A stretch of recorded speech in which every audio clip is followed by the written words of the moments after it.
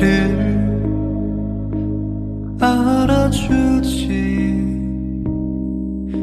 않아도 괜찮아. 어차피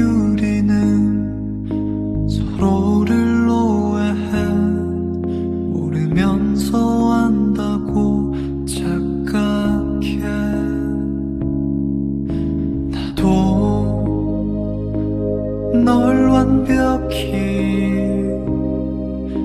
알아줄 순 없어.